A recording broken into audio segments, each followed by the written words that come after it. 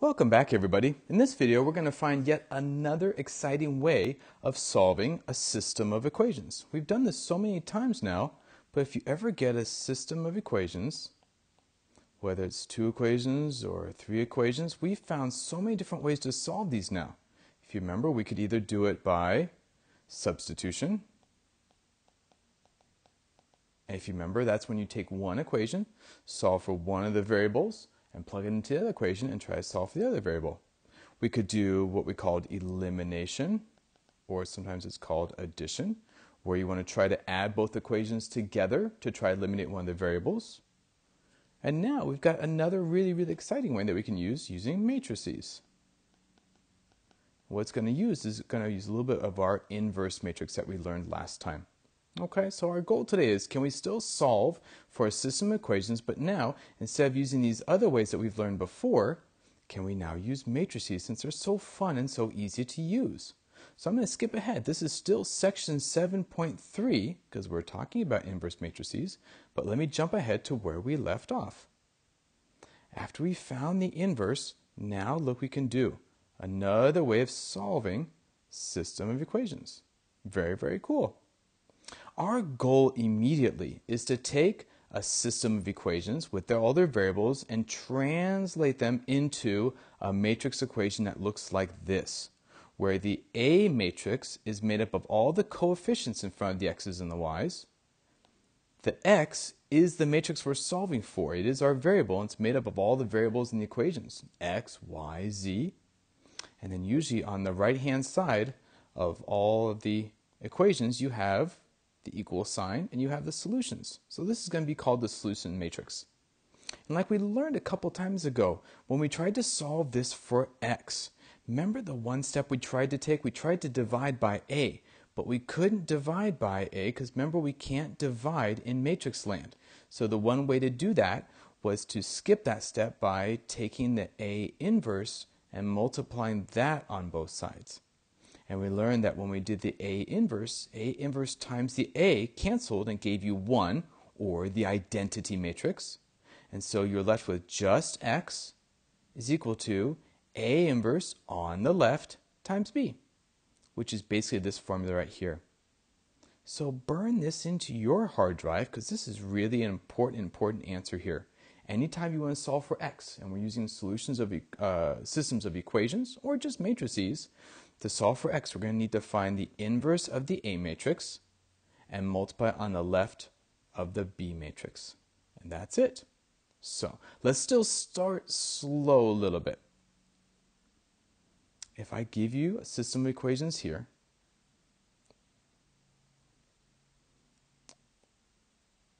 and just start with a very simple example. All right, do you see where all the coefficients are? In front of the x, there's, well, there's nothing, but means there's a 1. In front of the y is a negative 2. Over here is a 2, and over here is a negative 3. So if I take those four numbers, that's what's going to constitute my A matrix. You see how the A matrix is made up of all those coefficients? So this is our coefficient matrix. What are the variables we're trying to solve for? Well, we have x's and y's, so we're going to make an x and y variable matrix, just like this. And there's a reason why it looks like this and not a 1 by 2 matrix. We'll explain that in just a sec. We prefer the 2 by 1. Now, what about all the answers on this right side that we haven't used? That's our B matrix. Notice we have a 2 by 1 B matrix. And so if I want to turn it into an AX equals B, which is our goal, it would look just like this. Here's our A matrix on the left, Here's our x matrix of all the variables, and there's our b matrix on the right. So basically, this looks like a times x equals b. Now, how, how does that actually really be the same as that? Well, before we go forward, can we just check and see? Let's actually take this ax that you see here, friends, and let's actually just multiply that out. Let's just see what we get when we multiply that out. Now, that's a 2 by 2 matrix and you're multiplying a 2 by 1, so that should be legal because the inner numbers are matching, and the outer numbers tell me that my answer should be a 2 by 1. Well, let's do that. Let's actually multiply the A and the X matrix just for the heck of it and see what we get. You ready? Rows by column. So row on the left with the column x on the right. That should be 1 times x plus negative 2 times y. Okay, that's the first entry. And then on the bottom underneath it should be, well, row 2 on the left and the column on the right should be 2 times x plus negative 3 times y. All right, there's my 2 by 1 matrix. And if I just bring this guy back, remember the two matrices are equal. So if the two matrices are equal, that means the corresponding entries are equal.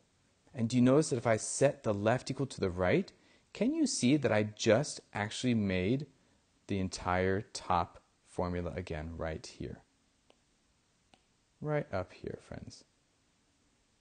Okay, so that's why I just wanted to go backwards to show you why it really works. Our goal again is to change it so it looks just like this. And ax equals b.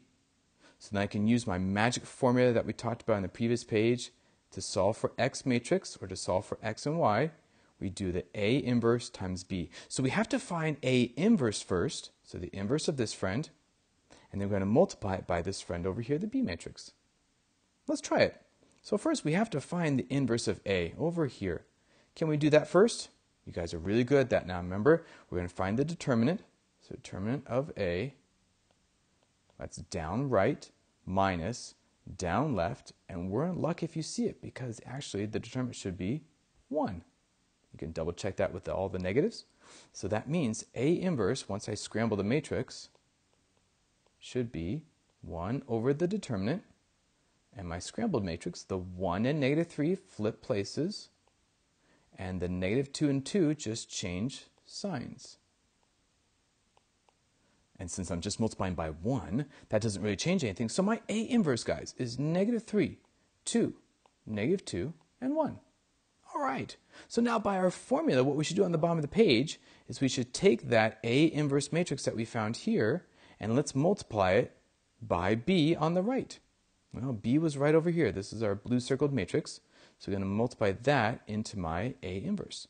Come on down here, A inverse friend. A inverse B times B should be, let's see, our A inverse was negative 3, 2, negative 2, and 1. I'm going to multiply that by the B matrix, which was 5, comma 10. And that was the sort of solution matrix that we made at the beginning. All right, this is totally legal. 2 by 2 multiplying a 2 by 1 should work. So I should get rows on the left and columns on the right. I should get negative 15 plus 20 is, and then from row 2 and the same column on the right, I should get negative 10 plus 10, and I should get, good. Now that should be my X matrix. And remember, the X matrix is made up of the variables we're solving for, X and Y. So basically, if x is equal to xy, and x matrix that we solve for numbers are 5, 0, can you guys see that my solution is and, and there you go. Or we could write it as a coordinate pair of 5, comma 0. Either way is okay. But should we just double check really quick, friends? Can we plug it back into the front top part of the equation and see if we have it here. So I make a little space we can do that. Go ahead. Why don't you plug in 5 for x and 0 for y and see if you get 5. 5 for x, 0 for y, and see if you get 10, and you do. So to recap, you take a system of equations and you're going to rewrite it so it looks like ax equals b, where the a were all the coefficients in front of the x's and y's, the x are the variables you're looking for, x and y, and notice how we made it into a 2 by 1 matrix. And the b matrix are all the solutions on the right-hand side. Once you turn it into the ax equals b equation, then we can solve by using our fancy formula here. Find the inverse of a and multiply it by b. There you go, friends. Anytime that we need to see that we need to possibly divide a matrix out, we do the opposite by doing the inverse on both sides. So A inverse times B is your best friend. Good job, everybody.